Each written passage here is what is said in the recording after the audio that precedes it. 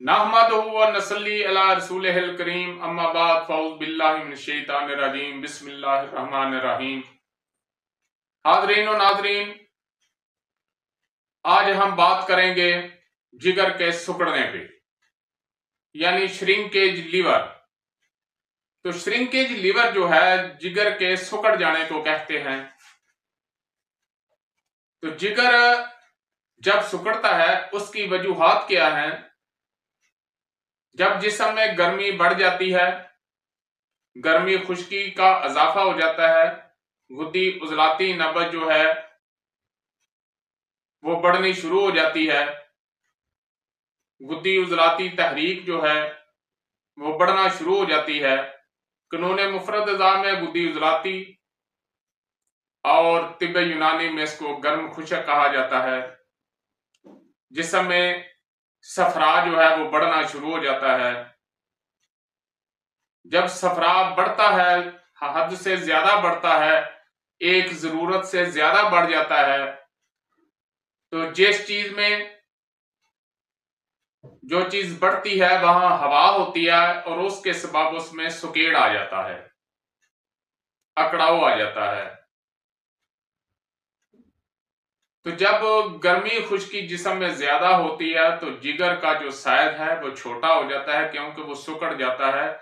ना सिर्फ़ जिगर सुकड़ता है, बल्कि उसके तमाम खलगे जो हैं, उसके तमाम टिश्यू जो हैं, वो सकेड़ का शिकार हो जाते हैं। तो इस स्केट की वजह से वहाँ अकड़ाव और दर्द भी जो है, वो रहने लगता है। और जिगर जो है वो अपना पूरा काम सर अंजाम नहीं दे सकता। तो जब हम इस गर्मी को तोड़ने के लिए तरी देंगे,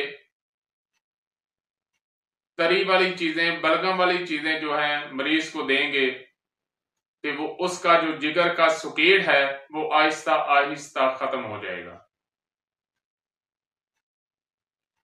अब उसको इसमें अमूमन गुस्सा, चिड़चिड़ापन, बेचैनी, रात को नींद ना आना नींद की कमी, और बहुत जल्द थकावट का एहसास हो जाना, ये इसकी मेन अलामत है। इसमें रंग जो है, अगर तो प्योर नबज गुद्दी उजलाती हो तो रंग पीला पड़ जाता है अगर खुश्की, गर्मी यानी उजलाती गुद्दी नफत जो है, वो अपने इफ्तकाई मराहल तय करके गुद्दी उजलाती बनती है, यानी उजलाती गुद्दी वर्मी हो जाती है तो जिसम का रंग जो है, वो पीला नहीं होगा, बल्कि जिसको काला यरकान कहते हैं, वो हो जाएगा। तो स्केड उसमें भी होगा। सुकेड दोनों सूरतों में होगा। अब इस स्केड को दूर करने के लिए हमने असाबी चीज़ें, तरी पैदा करने वाली चीज़ें जो हैं, वो देनी है। उनमें शलजम है, गाजर है, टिंडिया हैं। उसके अलावा छोटी इलाची और सौंफ का कावा, केला, सेब। छोटी इलाची सौंफ का कावा भी है और इसके अलावा जो है वो गुल सुरख का कावा भी है, जीर सफ़ेद का कावा भी है।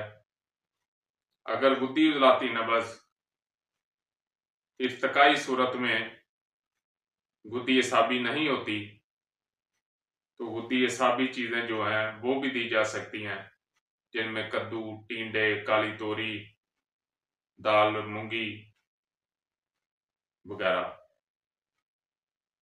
तो इसके मसालों में आपने लसन और प्याज और टमाटर और लाल मिर्च का इस्तेमाल बिल्कुल नहीं करना। अदरक का तड़का लगाना है। काली मिर्च, नमक, जीरा, सफ़ेद, धनिया, ये मसाला जात जो है, इसमें शामिल करने हैं। इसमें आप केले और मिल, केले और सेब का मिल्क शेक भी पी सकते हैं। खरबूजे का इस्तेमाल भी ठीक है।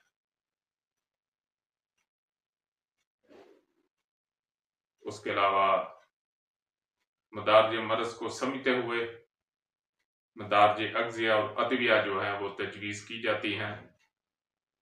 ये बात याद रखें कि इल्म तिब जो है वह टोल नहीं है। टोटकों का नाम नहीं है।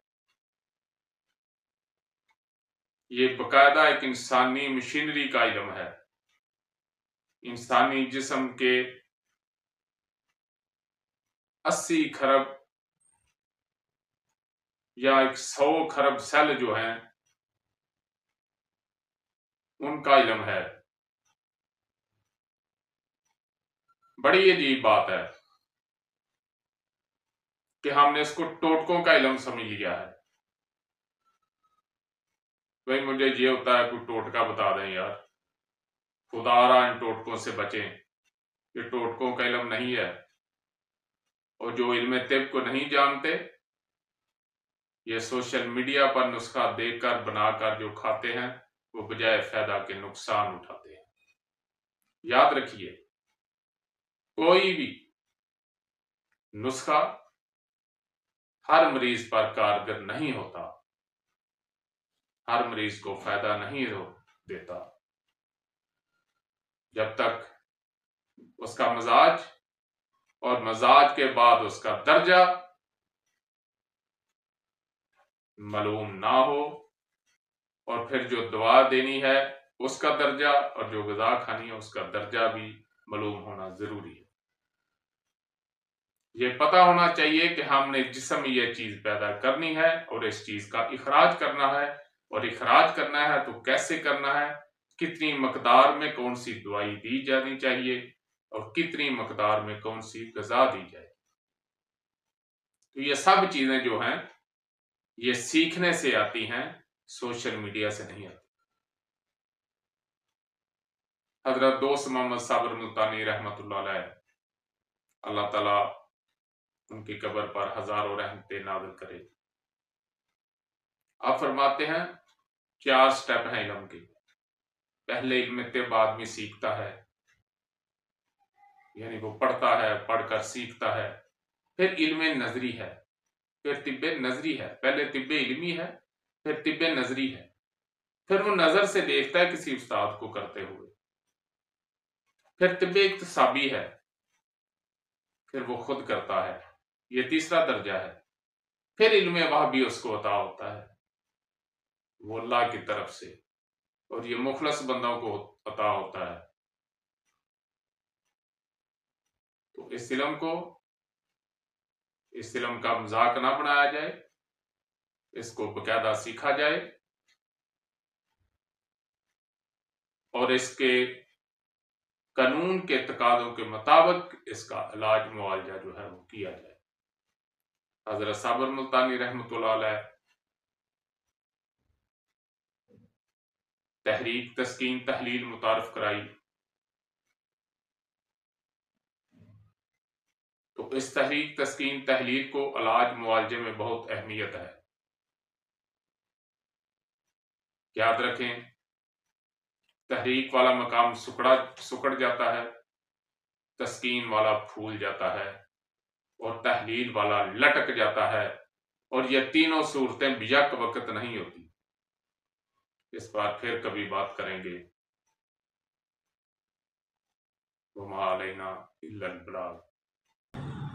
नाजरीन, अगर आपको हमारी वीडियो अच्छी लगी तो हमारे चैनल को सब्सक्राइब करें, लाइक करें, शेयर करें, ताकि कानून तेबर कानून फितरत के मुताबिक हमारी हर वीडियो आप तक पहुँचती रहे। शुक्रिया।